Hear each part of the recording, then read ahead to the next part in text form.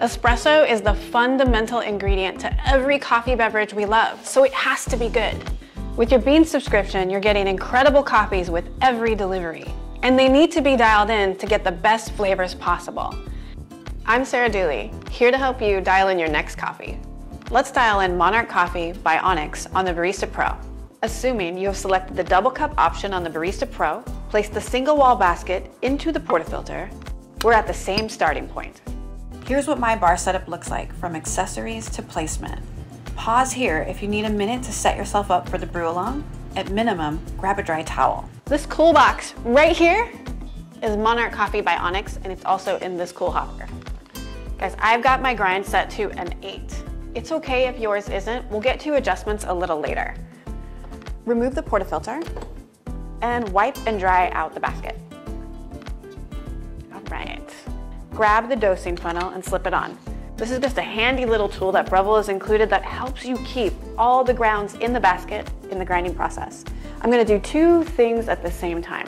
I'm gonna grind coffee and purge the brew group a couple of seconds just to refresh the water system and remove any residual coffee from the previous cycle. Press purge. My starting brew recipe is 18 grams of freshly ground coffee, 25 to 30 seconds of total brew time, yielding just under two ounces of espresso in the cup.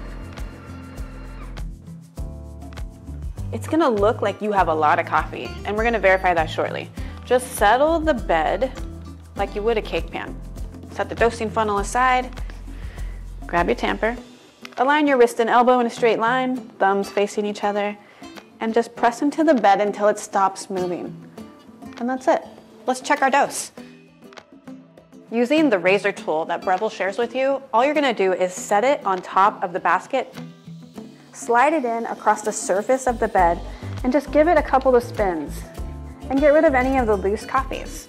All right, let's give it one more polished tamp. There's no pressure needed on this last one, just a little twist. Come back to your machine, insert the portafilter into the brew group, press the double cup button, and grab your cup. You shouldn't see the first drop of espresso until around the seven to nine second mark. The machine starts at a low pressure and water is moved through the puck up to high pressure. That's called pre-infusion. This will result in a slow saturation of the bed and a full extraction of sugars, acids, omegas, and lipids that make up a delicious espresso. Oh my gosh, we are just under 10 seconds from a delicious shot of espresso.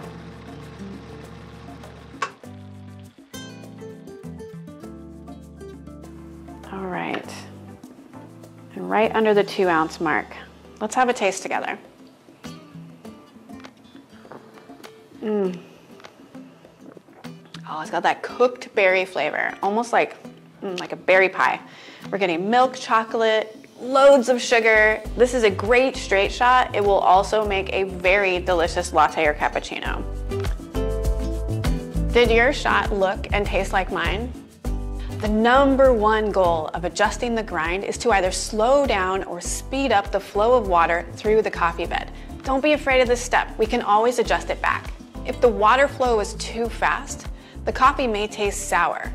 Adjust the grind a couple of notches finer to slow down the water flow through the bed. If the flow is too slow, the coffee could taste bitter or roasty. Adjust the grind a couple of notches coarser to speed up the flow of water through the coffee bed.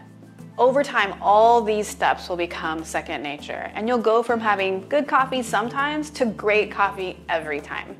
I'm Sarah Dooley from Beanz.com. Thanks for dialing in with me.